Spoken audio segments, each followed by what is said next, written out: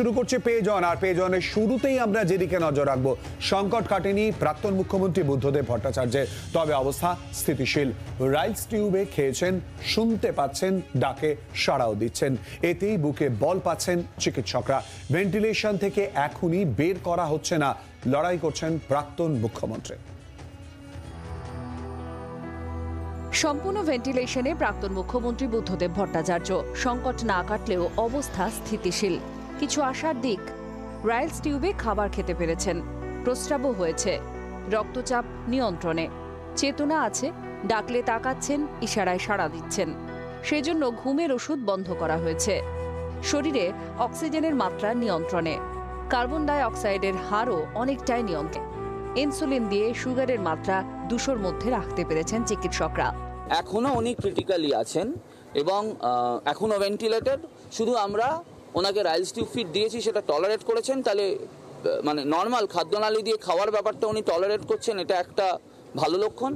দু নম্বর, উনি সিডেশনটা অমিট করার পর ওনার দিক থেকে একটু জ্ঞান এসছে, উনি সাড়া দেওয়ার জায়গায় এসছেন, এই দুটো ভালো লক্ষণ। প্রায় আশি ছুঁই বয়স প্রাক্তন মুখ্যমন্ত্রী বুদ্ধদেব ভট্টাচার্যের, এই বয়স একটা চ্যালেঞ্জ তাছাড়া তিনি ক্রনিক সিওপিডির রোগী। চিন্তার জায়গা, ফুসফুসের সংক্রমণ ও ক্লিভসিলা ড্রাগ রেজিস্ট্যান্ট ব্যাকটেরিয়ার সংক্রমণ। এর ফলে এক্ষেত্রে দেওয়া সাধারণ অ্যান্টিবায়োটিকগুলো কাজ করে না। বুদ্ধদেব ভট্টাচার্যকে বাছাই করা হাই ডোজ অ্যান্টিবায়োটিক দেওয়া হচ্ছে। সংক্রমণ কমাতে দেওয়া হচ্ছে স্টেরয়েড সমস্যা হলো স্টেরয়েডের জন্য সুগারের মাত্রা বেড়ে যায়। তার কিডনিরও সমস্যা আছে। এই পেশেন্ট যতক্ষণ না ভেন্টিলেশন থেকে বেরোচ্ছেন এবং ভেন্টিলেশন থেকে বেরোলেই লড়াই, লড়াইটা শেষ নয়। ভেন্টিলেশন থেকে বেরোনোর পরে স্টেপ হচ্ছে ওনাকে আরেকটু রেকুপারেট করানো, বাড়ি পাঠানোর দিকে যাওয়া। এগুলো সব পরের কথা। এখন কথা হচ্ছে ওনার ইনফেকশন কন্ট্রোল কেমন হয়, ওনার অক্সিজেন রিকোয়ারমেন্টস কমে কিনা, সেটা আস্তে আস্তে আগামী কাল পরশুর মধ্যে বুঝে যাব এবং অ্যাকর্ডিংলি আমরা তখন চেষ্টা করব ওনার ভেন্টিলেশন সাপোর্ট কমিয়ে বের করতে। রবিবার সকালে করা ইকোর রিপোর্ট ভালো। ফুসফুস খারাপ হলেও হার্টের অবস্থা ভালো আছে প্রাক্তন মুখ্যমন্ত্রীর। সেই হার্টের জুড়েই লড়াই করে যাচ্ছেন বুদ্ধদেব ভট্টাচার্য। ক্যামেরায় মিন্টু বসাকের সঙ্গে মৈত্রী ভট্টাচার্যের রিপোর্ট, জি চব্বিশ ঘণ্টা। রাজ্যের প্রাক্তন মুখ্যমন্ত্রী বুদ্ধদেব ভট্টাচার্যের শারীরিক অবস্থা সম্পর্কে ঠিক কি কি আপডেট পাওয়া যাচ্ছে জানব। সঙ্গে রয়েছে আমাদের দুই প্রতিনিধি। এই মুহূর্তে উডল্যান্ডস হাসপাতালের সামনে থেকে রয়েছে আমাদের দুই প্রতিনিধির সঙ্গে রয়েছে মৈত্রী ভট্টাচার্য এবং রয়েছেন কমলাক্ষ ভট্টাচার্য। প্রথমে চলে যাব মৈত্রীর কাছে। মৈত্রী, চিকিৎসকরা ঠিক কি বলছেন এখনও পর্যন্ত? তার শারীরিক অবস্থা সম্পর্কে কি জানা যাচ্ছে? দেখো, এখনও পর্যন্ত শারীরিক অবস্থা সংকটজনক, কিন্তু স্থিতিশীল রয়েছে প্রাক্তন মুখ্যমন্ত্রী বুদ্ধদেব ভট্টাচার্যর। আজকে সকাল থেকে তার যে ড্রাউজিনেস অর্থাৎ তার যে আচ্ছন্ন ভাব ছিল, সেটা অনেকটা কেটে গেছে এবং তিনি রেসপন্ড করতে শুরু করেছেন। তিনি মাঝে মাঝে চোখ খুলে তাকাচ্ছেন, তিনি ইশারায় বোঝাচ্ছেন এবং আর আরও একটা পজিটিভ সাইন যে, তিনি রাইলস টিউব মারফত, মাধ্যমে তাকে খাবার দেওয়া হচ্ছে এবং তিনি তার শরীর সেই খাবারটাকে গ্রহণ করতে পারছে। এর পাশাপাশি তার অন্যান্য প্যারামিটার সকাল থেকে মোটের উপর নিয়ন্ত্রণেই রয়েছে। আজকে দুপুরবেলার পর তার সুগার লেভেল কিছুটা বেড়ে যায়। তার ইউরিন আউটপুট কিছুটা কমে গিয়েছিল এবং প্রেশারও কিছুটা ফ্ল্যাকচুয়েট করছিল অর্থাৎ ওঠানামা করছিল। কিন্তু সেটা ইতিমধ্যেই নিয়ন্ত্রণে আনা গিয়েছে বলে চিকিৎসকেরা জানাচ্ছেন। ফলে আজ সকাল থেকে এখনও পর্যন্ত বলা চলে ভেন্টিলেশনে ফুল ভেন্টিলেশনে থাকলেও প্রাক্তন মুখ্যমন্ত্রী বুদ্ধদেব ভট্টাচার্যর শারীরিক অবস্থা কিন্তু আহ, সংকটজনক এবং স্থিতিশীল পর্যায়ে রয়েছে। আজকে তার সিটি স্ক্যান করার কথা ছিল, সেটা চিকিৎসকেরা করেনি তার কারণ, তার যে তাকে স্থিতিশীল করে তারপরে সেই সিটি স্ক্যান করার সিদ্ধান্ত নিয়েছেন চিকিৎসকেরা। যদিও তার আজকে ইকোট করা হয়েছে এবং ইকোর রিপোর্টের পরিপ্রেক্ষিতে কিছু পরিবর্তন তার করা হয়েছে।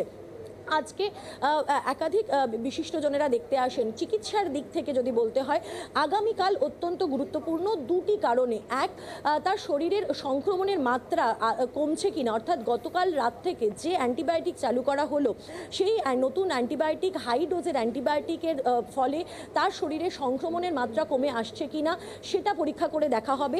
যদি সেটা কমের দিকে থাকে, সেটা কিন্তু একটা অত্যন্ত পজিটিভ ইঙ্গিত। কাল সকাল সাতটা থেকে সাড়ে সাতটা নাগাদ মুখ্যমন্ত্রী প্রাক্তন মুখ্যমন্ত্রী বুদ্ধদেব ভট্টাচার্যর সিটি স্ক্যান করা হবে সিটি থোরাক্স করা হবে এবং সেটা, সেই সিটি স্ক্যান করে চিকিৎসকেরা বোঝার চেষ্টা করবেন যে তার ফুসফুসের সংক্রমণ যতটা ছড়িয়েছিল তার থেকে কমেছে কিনা বা কমের দিকে কোনো ইঙ্গিত রয়েছে কিনা। এই দুটি রিপোর্টের ওপরেই কিন্তু বুদ্ধদেব ভট্টাচার্যর চিকিৎসার গতি প্রকৃতি, অর্থাৎ আগামী দিনে তার চিকিৎসার গতি প্রকৃতি কী হবে সেটা নিশ্চিত করবে এটার ওপরেই। চিকিৎসকেরা এখনও পর্যন্ত তাদের যেটা লং টার্ম ম্যানেজমেন্ট বলতে যেটা বোঝায়। অর্থাৎ আগামী দিনে কি কি ম্যানেজমেন্ট তারা করতে পারেন সে বিষয়ে তারা যেটা ভাবনা চিন্তা করে রেখেছেন, সেক্ষেত্রে দাঁড়িয়ে তারা মনে করছেন যে যদি কালকের দুটো রিপোর্টই ভালো হয়, ভালোর দিকে থাকে, তাহলে তারা চেষ্টা করবেন ধীরে ধীরে ভেন্টিলেশনের মাত্রা কমিয়ে ধীরে ধীরে ভেন্টিলেটর থেকে বের করে আনতে প্রাক্তন মুখ্যমন্ত্রী বুদ্ধদেব ভট্টাচার্যকে। কিন্তু এই সবটাই নির্ভর করছে আগামীকাল রিপোর্ট কি আসে। অর্থাৎ আগামীকাল যে দুটো অত্যন্ত গুরুত্বপূর্ণ টেস্ট রয়েছে, তার রিপোর্ট কি আসছে তার উপরে সবটা নির্ভর করছে। আমরা এখনও পর্যন্ত যেটা জানতে পারছি, মুখ্যমন্ত্রী মমতা বন্দ্যোপাধ্যায়ের তরফ থেকে এবং রাজ্যপালের তরফ থেকে নিয়মিত বুদ্ধদেব ভট্টাচার্যের শারীরিক পরিস্থিতির খোঁজ নেওয়া হচ্ছে এবং আমরা সূত্র মারফত যেটা জানতে পারছি, মুখ্যমন্ত্রী মমতা বন্দ্যোপাধ্যায় আগামীকাল হাসপাতালে এই আলিপুরের এই হাসপাতালে আসতে পারেন প্রাক্তন মুখ্যমন্ত্রী বুদ্ধদেব ভট্টাচার্যকে দেখতে। এখনও পর্যন্ত আগামীকাল, ফলে সেই দিক থেকে দাঁড়িয়ে কিন্তু চিকিৎসার দিক থেকে বুদ্ধদেব ভট্টাচার্যর চিকিৎসার গতি প্রকৃতি কী হবে, সেদিক থেকে কিন্তু দাঁড়িয়ে আগামীকাল অত্যন্ত গুরুত্বপূর্ণ হতে চলেছে। শিলাদিত্য। ধন্যবাদ মৈত্রী মৈত্রীর সঙ্গে আমরা কথা বললাম, সঙ্গে রয়েছে আমাদের অপর প্রতিনিধি কমলাক্ষ ভট্টাচার্য। কমলাক্ষ, আর কি কি আপডেট পাওয়া যাচ্ছে বুদ্ধদেব ভট্টাচার্যের শারীরিক অবস্থা সম্পর্কে?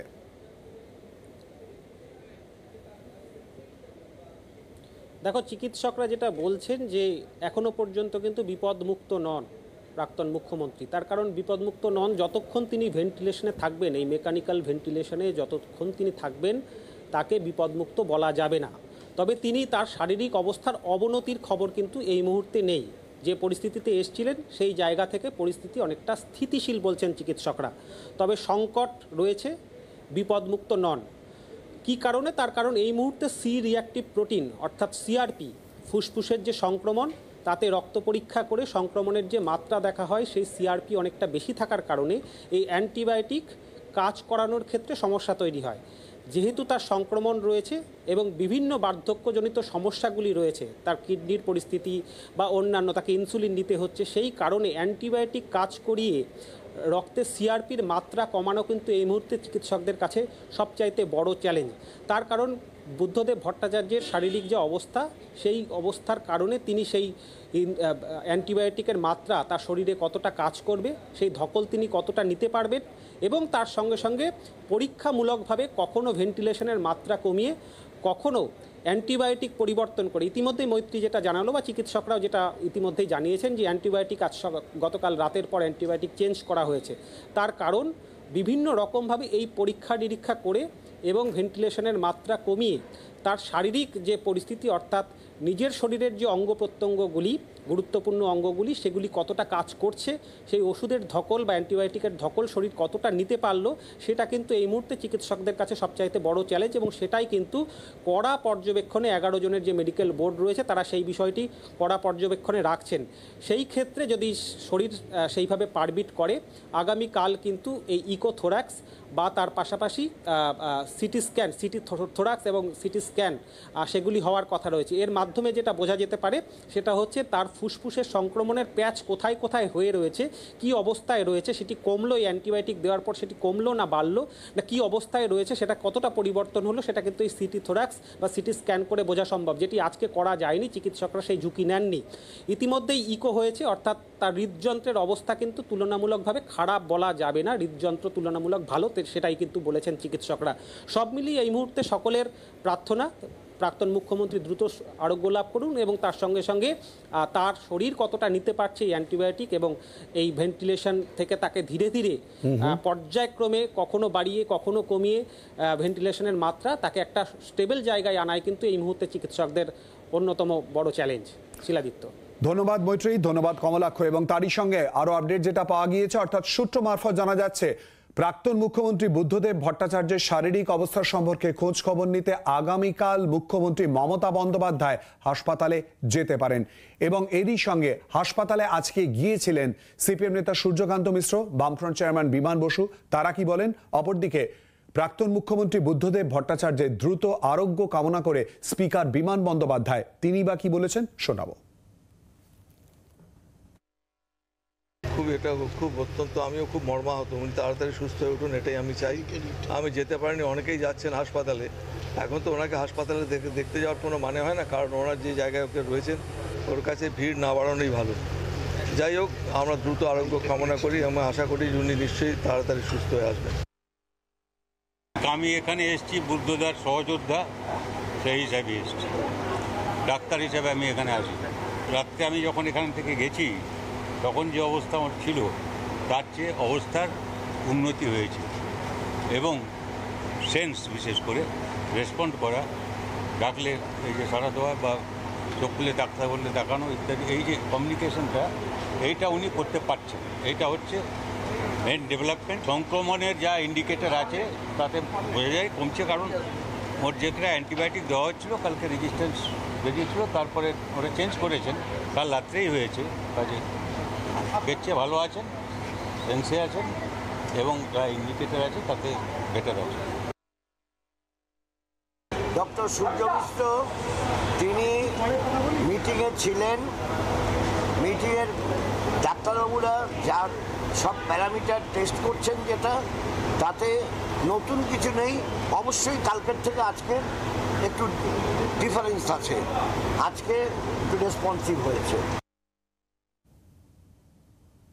বুদ্ধদেব ভট্টাচার্যের শারীরিক অবস্থা সম্পর্কে খোঁজ খবর নিতে হাসপাতালে যান রাজ্যে বিরোধী দলনেতা শুভেন্দু অধিকারী। তিনি কি বললেন শোনাবো? এরই সঙ্গে তৃণমূল কংগ্রেসের মুখপাত্র কুনাল ঘোষ, তিনি দ্রুত আরোগ্য কামনা করে, বুদ্ধদেব ভট্টাচার্যের দ্রুত আরোগ্য কামনা করে, তিনি কি বলেছেন? শোনাবো। সবচেয়ে বেস্ট চিকিৎসা মাননীয় প্রাক্তন মুখ্যমন্ত্রী মহোদয় পাচ্ছেন। ডাক্তারবাবুরা অত্যন্ত sincerely twenty four into seven তারা চেষ্টা করছেন, আমি ডাক্তারবাবুদের সঙ্গেও আলাদা করে কথা বলেছি এবং ওনাকে দেখভালের দায়িত্বে যারা ওনার পার্টির কলিগসরা কমরেডরা আছেন, তারাও সেখানে ছিলেন। ডাক্তারবাবুরা বলছেন যে অক্সিজেন লেভেলটা ঠিক করতে পেরেছেন বা কিছু কিছু প্যারামিটার ওনারা ঠিক করতে পেরেছেন। বাকিটা ডাক্তারবাবুদের উপর আমাদের ভরসা রাখা উচিত। আর যারা আমরা ঈশ্বরে বিশ্বাস করি, তারা ভগবানের কাছে প্রার্থনা করব। এই রকম একজন সৎ রাজনীতিবিদ এবং পশ্চিমবঙ্গের দলমত বর্ণ ধর্ম নির্বিশেষের মানুষের শ্রদ্ধার ব্যক্তি, তিনি যেন সুস্থ হয়ে বাড়ি ফিরতে পারেন। আমি ওনার টাইমে এমএলএ ছিলাম। এই রকম অনেস্ট পলিটিশিয়ান পশ্চিমবঙ্গে রেয়ার খুব রেয়ার খুব রেয়ার মানে একের বদলে দুই হবে কিনা এটা খুব প্রশ্নচিহ্নের সাথে বুদ্ধদেব বাবু অত্যন্ত অসুস্থ অবস্থায় রয়েছেন। ফলে এখন হাসপাতালে দেখতে যাওয়া, কে যাচ্ছেন বা না যাচ্ছেন আমি ঠিক বলতে পারব না। কিন্তু এই মুহূর্তে দেখতে যাওয়া, না যাওয়া, আমার মনে হয় দেখতে গিয়ে খুব কার্যকরী কোনো কাজ সেখানে হবে না। মাননীয় মুখ্যমন্ত্রী সমস্ত খোঁজখবর রাখছেন। দায়ি- দায়িত্বশীল অভিভাবিকার মতো খোঁজখবর রাখছেন বুদ্ধদেব ভট্টাচার্যের। ফলে তৃণমূল কংগ্রেস দলগতভাবে মাননীয় মুখ্যমন্ত্রী মমতা বন্দ্যোপাধ্যায় এবং আমরা সকলেই, আমরা চাই বুদ্ধদেব ভট্টাচার্য দ্রুত সুস্থ হয়ে উঠুন।